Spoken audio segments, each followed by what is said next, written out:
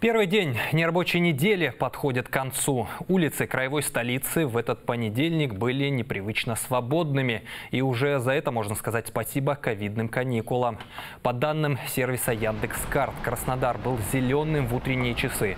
Сейчас баллов немного стало больше, но по-прежнему дороги далеки от обычных 8-9 баллов, какие были в это время в другие дни. Краснодарцы все же дома не отсиживались, на улицах много прохожих. И это несмотря на на то, что в эти дни приостановлено проведение массовых мероприятий, закрыты кинотеатры.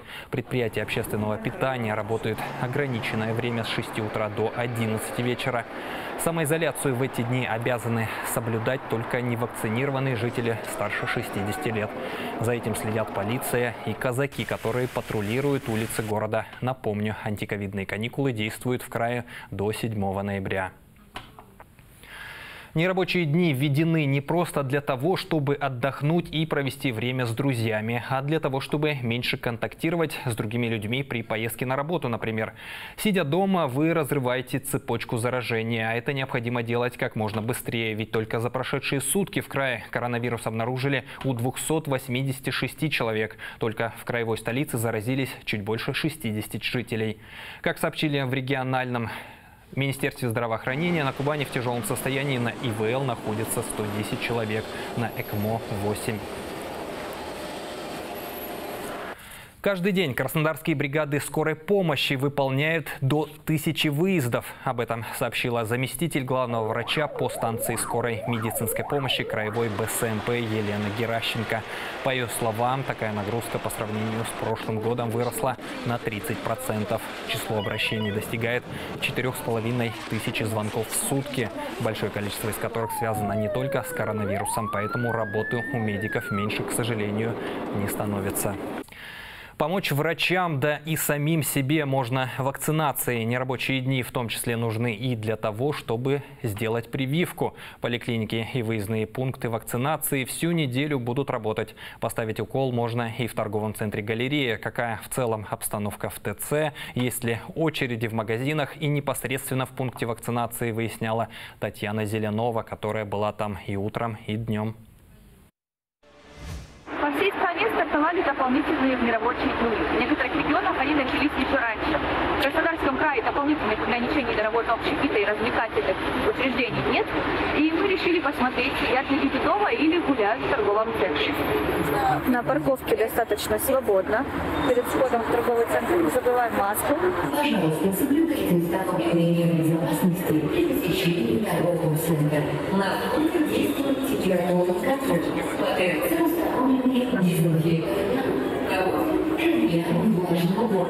Спустимся сейчас в продуктовый магазин. Там обычно очень много людей. Посмотрим, как сегодня.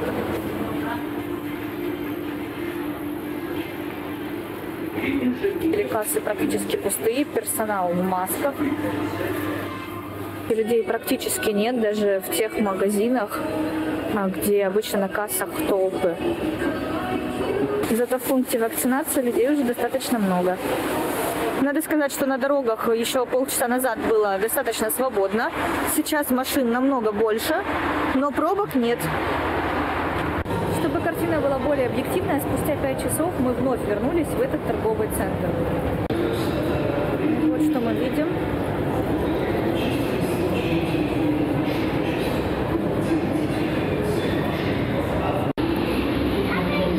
стало больше, но, к сожалению, маски носят не все. Подскажите, у вас много сегодня покупателей? Нет, так как обычно. Спасибо.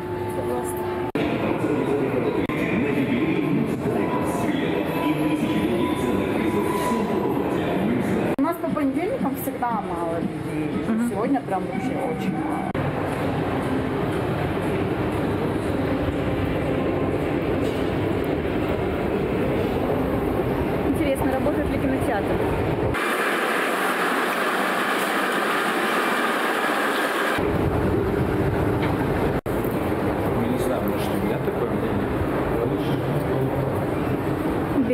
явно не продают. Да и проход к кинозалам закрыт. Несмотря на то, что посетителей в торговом центре стало больше, чем утром, э, многие магазины пустуют. Татьяна Зеленова, телекомпания «Краснодар». Краснодаре открылась выставка, посвященная достижениям немецкого бизнеса в России. Экспозицию посетили глава представительства немецкой экономики в России Матиас Шеп и губернатор Вениамин Кондратьев. Глава Кубани отметил, что Краснодарский край и Германию многие годы связывают теплые отношения. Важно, что они продолжают развиваться и в сегодняшнее непростое время. Моя коллега продолжит тему. От машиностроения до сельского хозяйства на выставке представлены яркие кадры рабочих моментов из разных городов России. Один из таких сделан на краснодарском производстве немецких комбайнов «Класс». Завод «Класс» также вот здесь представлен. Для нас это почетно и для нас это гордо. Это гордо. Потому что это, знаете, как бы мы ни говорили, это немецкий бренд, это немецкое, немецкое качество, но завод мы считаем наш кубанский, российский завод.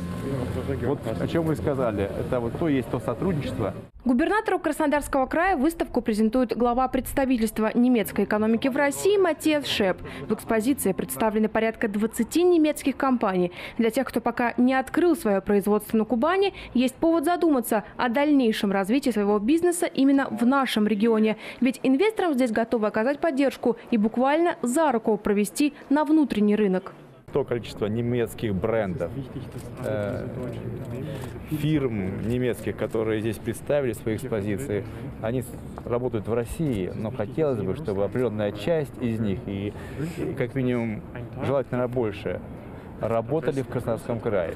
Я вот готов здесь максимально приложить максимум усилий, обсуждать, что необходимо, чтобы они пришли со своими инвестициями Краснодарский край. С нашего прошлого встречи мы говорили о возможных инвестициях. И очень приятно, и спасибо вам и вашей команде, что мы их уже, большинство из них отрабатывали.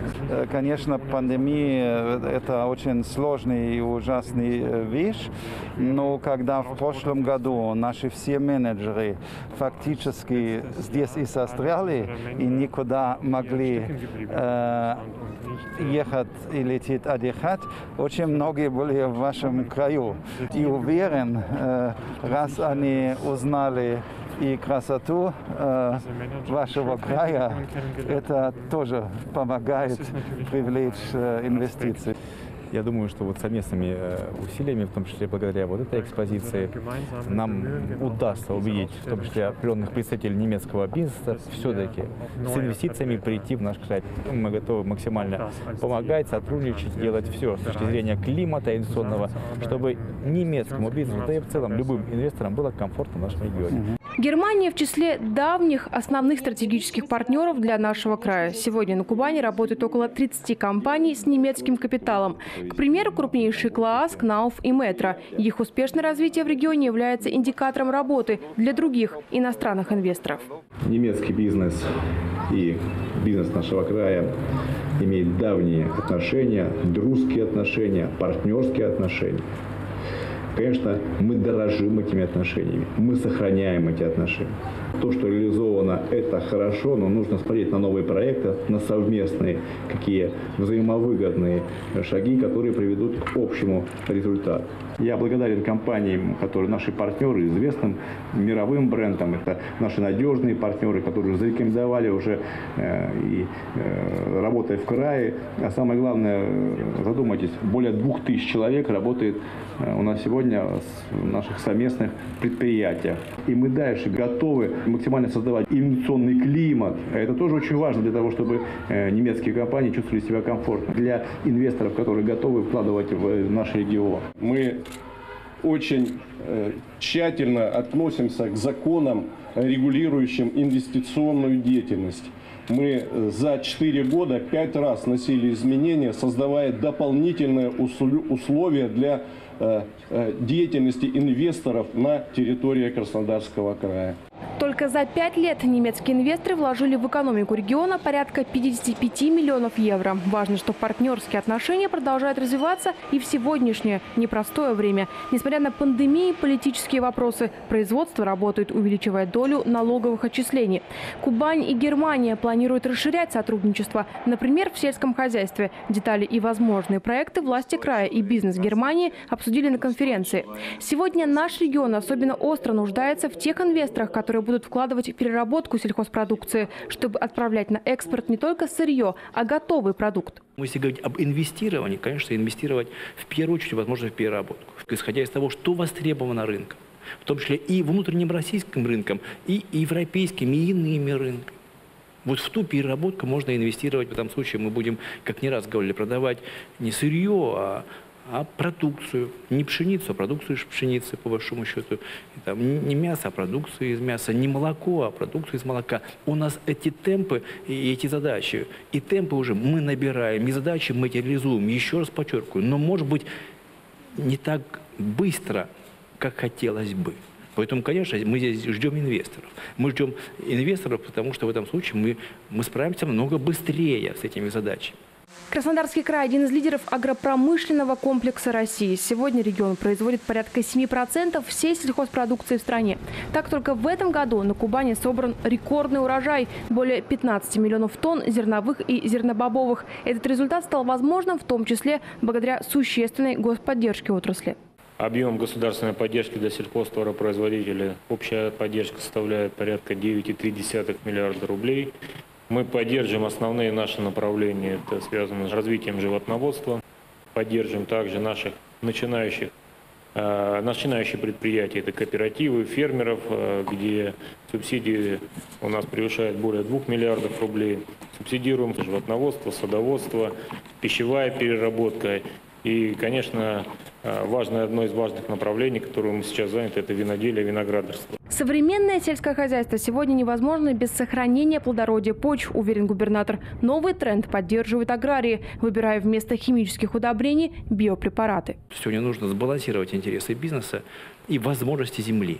Земля, она не безгранична. Мы сегодня должны говорить в том числе и о органическом земледелии. Тоже важная составляющая для инвестирования. Это биопрепараты, по большому счету. Это значит биотехнологии. Это экологически чистая продукция, экопродукция. Она тоже сегодня востребована рынком. Поэтому это тоже важная составляющая для инвесторов, которые хотят инвестировать в Краснодарский край. И здесь мы находимся, может быть, только еще на старте. Поэтому, если говорить о биотехнологиях, говорить о биопрепаратах, говорить о биоудобрениях, говорить про экологическую чистую продукцию, нам нужны партнеры. Партнеры в том числе и из Германии – и продукция, которая у нас будет, экологически чистая, она будет востребована, я уверен, европейскими странами. Это тоже важное направление развития сельского хозяйства, его устойчивость. В ходе разговора региональным властям были предложены проекты, ориентированные на экологичность. Немецкая страна отмечает, в Краснодарском крае большой потенциал для развития российско-германских отношений. Из-за ковидных каникул изменились графики работы многих организаций. Так, в МФЦ города просят тех, кто записался на прием, повторно пройти процедуру предварительной записи на новые даты. Сделать это можно по телефону или на едином портале МФЦ Краснодарского края. В многофункциональных центрах можно также пройти перепись населения. Для этого в организации отвели даты 2 и 3 ноября. В это время на участках будут находиться только переписчики и волонтеры. А вот с 4 4 по 7 ноября выходные дни. С 8 ноября филиалы МФЦ продолжат работу в штатном режиме по стандартному графику работы. Найдите время принять участие в процедуре, так как результаты переписи открывают перед Краснодаром большие возможности. Чем больше нас э, прорегламентируется, тем лучше для нашего города, комфортнее для нашего города. И мы получим совершенно другие э, финансовое, финансовое вливание от э, России для того, чтобы у нас были прекрасные дороги, условия э, замечательные, э, зон, зон отдыха и так далее. Пройти перепись можно разными способами. Первый – это самостоятельно заполнить анкету на портале госуслуг. Второй, как я уже говорил, в любом МФЦ. И третий вариант – дождаться переписчика у себя дома. И о важности переписи говорили сегодня в администрации краевой столицы. Исполняющий обязанности главы города Андрей Алексеенко на совещании отметил, что жители Краснодара активно принимают участие в процедуре. Эти обороты избавлять нельзя, добавил он, ведь от итогов переписи зависит комфорт каждого горожанина. В понедельник мы посмотрим на результат. Динамика на сегодняшний день и цифры абсолютно они есть. Посмотрим, как они изменятся. Объективная цифра позволит городу Краснодару выйти на новый уровень.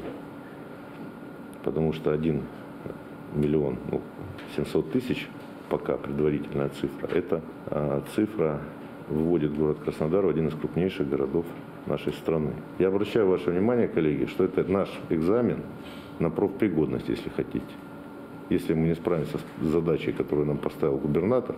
До конца переписи остались две недели. И чтобы процедуру прошли как можно больше краснодарцев, Андрей Алексеенко поручил организовать городской штаб, а еще закрепить за каждым сотрудником администрации округа для подсчета жителей, а также привлечь к этой работе сотрудников МВД, ТСЖ и управляющих компаний. И снова о новых антиковидных ограничениях. Они коснулись и культурного досуга в Краснодаре. Так, например, с 1 ноября зрителям старше 18 лет для посещения площадок творческого объединения «Премьера» необходимо иметь с собой QR-код сертификата вакцинации либо медицинский документ, подтверждающий получение второго компонента вакцины или документ о выздоровлении. Также ковидные каникулы повлияли на репертуар заведения. С 30 октября по 7 ноября показ симфонического шоу во Дворце искусств «Симфония Голливуда» перенесли на 9 и 10 ноября. А премьеру новой программы вокально-хореографического ансамбля «Родник» с 6 ноября передвинули на январь следующего года. В новом театре кукол спектакли «Сказки Грим», «Щелкунчик» и «Мэри Поппинс вернется» можно будет увидеть только в январе следующего года. Как сообщили в пресс-службе премьеры, все билеты на перенесенные концерты и спектакли остаются действительными. Спасибо, что остаетесь с нами, и мы продолжаем. 15,5 миллионов тонн в кубанском каравае. В этом году в регионе установлено сразу несколько рекордов. Например, пшеницы намолотили больше 10 миллионов тонн. И это несмотря на то, что аграриям пришлось нелегко. Погода была не самая благоприятная. Тружеников села в день урожая поздравили губернатор и председатель Заксобрания.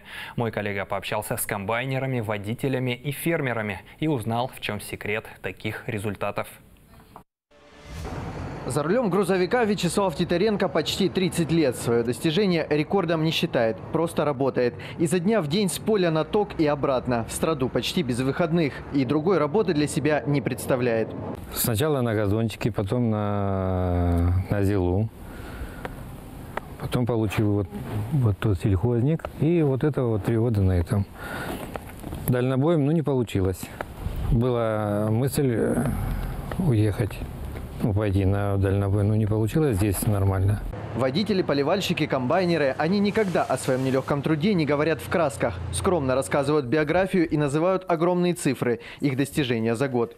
Тут ничего такого секрета никакого нет, главное слушаться начальства. Вот у нас агроном, все благодаря ему. Таких тружеников села каждый год чествуют в Краснодаре. По итогам битвы за урожай глава региона вручает благодарности и региональные награды. Спасибо говорят тем, кто внес свою лепту в кубанский каравай. В этом году новый рекорд. Впервые в истории зерновых, зернобобовых и риса собрали больше 15 миллионов тонн. 15,5 миллионов тонн. Зерновых, зернобобовых, кукурузы, риса. Но это небывалый, конечно, урожай. Можно говорить о многих слагаемых сегодняшнего вашего успеха, в целом агропромышленного комплекса края. Самое главное – люди, которые живут и работают на селе. И то, что сегодня рекордный урожай, рекордный, это благодаря, конечно, вам, тем, кто сегодня и подарил стране такой рекордный кубанский урожай, который своим, на самом деле, тяжелым именно тяжелым трудом создает историю нашего края, аграрную историю. Вам честь, хвала и почет. Низкий вам поклон от всех нас. Я хочу сказать слова благодарности за ваш труд. Наши хлеборобы, как олимпийские чемпионы, с каждым годом повышают планку и достигают результата. Этот год не стал исключением. Вы добились высокого э, результата и показали, что вы настоящие профессионалы своего дела. И цифра 15 миллионов 500 тысяч тонн это ваша заслуга. И показатели сельского хозяйства, очень высокие показатели, несмотря на очень сложные турбулентные процессы в экономике, безусловно, это заслуга вашего труда. Это благодаря тому, что используется новая техника, современная, используются современные технологии, но нельзя не сказать, что в том числе это благодаря вниманию органов государственной власти, ведь на поддержку села в этом году было направлено около 9 миллиардов рублей. Благодарность кубанским аграриям передал и полномочный представитель президента в Южном федеральном округе Владимир Устинов. Ее зачитал главный федеральный инспектор Алексей Ермаков. В целом по Краснодарскому краю урожай основной культуры озимой пшеницы самый большой за всю историю Кубани – 10 миллионов 612 тысяч тонн. При этом зерна самого востребованного 3-4 класса больше 90%. Глава региона отметил, что эти достижения стали возможны в первую очередь благодаря людям, которые, несмотря ни на что, при любой погоде снова и снова выходят на работу в поле. Если честно, неделя такая была, она сумасшедшая. Устал. А я, знаете, о чем подумал? А как же вы устаете? Только весь год. Бессонные ночи.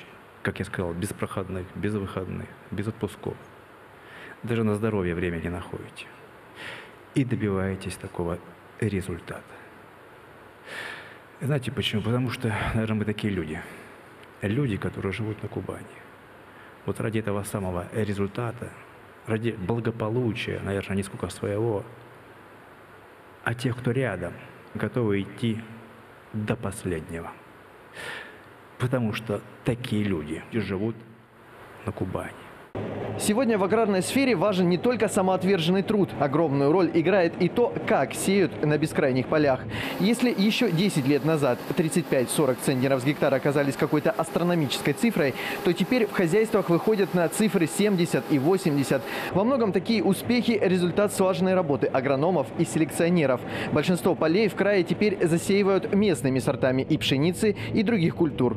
Кубань снова подтвердила статус гаранта продовольственной безопасности России и житницы нашей великой страны.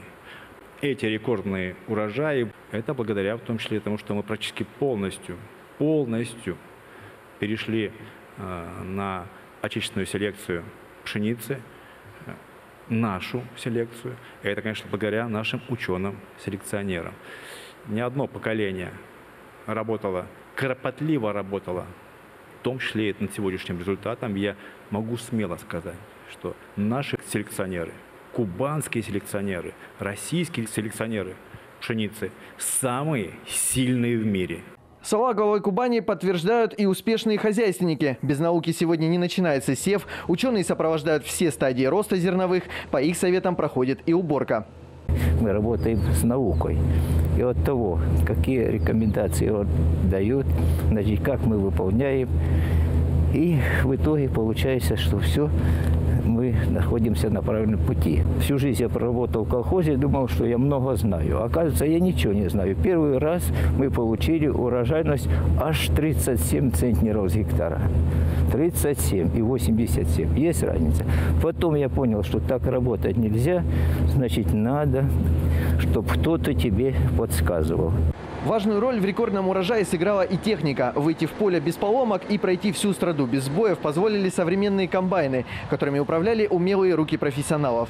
Один из рекордсменов, например, на показатель в 2600 тонн, вышел благодаря тому, что свою рабочую лошадку перебрал сам полностью от мотора до жатки. Понравилась мне эта профессия, в общем, и вот продолжаю. Ну, тут до пенсии немножко так, ну, продлили молодость. Ну, еще пару лет, я думаю, еще потрудимся. Лучших тружников поля наградили медалями и дипломами, а пятерым чемпионам жатвы, намолотившим на своих комбайнах от 1 до 6 тысяч тонн зерна, вручили автомобили. Я с седьмого класса работаю, с 12 лет штурвальным, потом армия два года, после армии комбайнером. Кроме пшеницы и риса, рекорды и в других отраслях растениеводства. Более 1 миллиона тонн подсолнечника, 180 тысяч тонн винограда, сахарной свеклы почти 10 миллионов тонн. Несмотря на плохую погоду, добились результата и овощеводы. У них копилки 800 тысяч тонн. Краснодаре прошла благотворительная ярмарка «Сундучок помощи». Организатором выступил фонд «Кубанская семья». Каждый желающий мог принести вещи в пункт приема, а также выбрать для себя и своей семьи одежду, обувь и текстиль. Данный проект направлен на поддержку многодетных, малоимущих, а также семей с детьми-инвалидами. Вещи отдавались бесплатно. Мы нашли школьные и куртки. А, у нас трое деток. Это очень большое подспорье для семьи. Это такая акция взаимопомощи, когда от мамы к маме передаются вещи, пригодные для носки, хорошего качества, мы все эти вещи принимаем, сортируем, стираем, сушим. И то, что вы сегодня видите, эти вещи уже готовы к носке. Они чистые, отпаренные. Поэтому мамы очень рады, что есть возможность делиться. Дети очень быстро растут. И то, что не нужно мне, например, да, как многодетной маме, нужно кому-то другому. Сундучок помощи оказался востребованным среди жителей Краснодарского края. Всего за время реализации проекта принято и передано семьям Кубани более 50 тонн вещей. Если вы тоже хотите принять участие и помочь нуждающимся семьям, приносите вещи по адресу улица имени Крупской, 103. Пункт приема работает по средам и субботам с 10 утра до 3 часов дня. Больше двух с половиной километров рельсошпальной решетки в обоих направлениях уложили на улице Московской. Сейчас на месте стройки новой трамвайной ветки выполняют сварку стыков, балансировку пути и приступают ко второму этапу строительства подземных пешеходных переходов. Также специалисты ранее переустроили 340 метров разворотного кольца. Работы выполнены почти на 70%. Как сообщили в Департаменте транспорта и дорожного хозяйства, отставаний по графику не ожидается. Всего до конца этого года планируют уложить 5 километров трамвайной линии.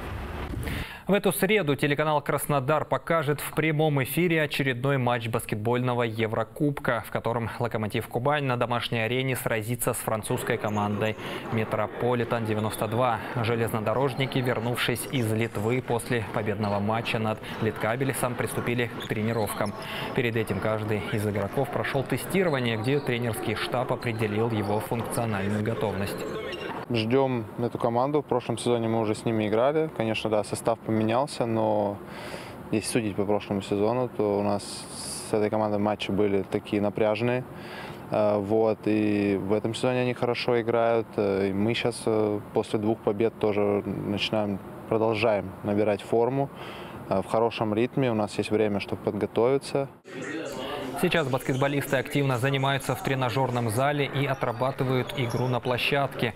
Как играть, чтобы победить соперника, рассказал главный тренер краснозеленых.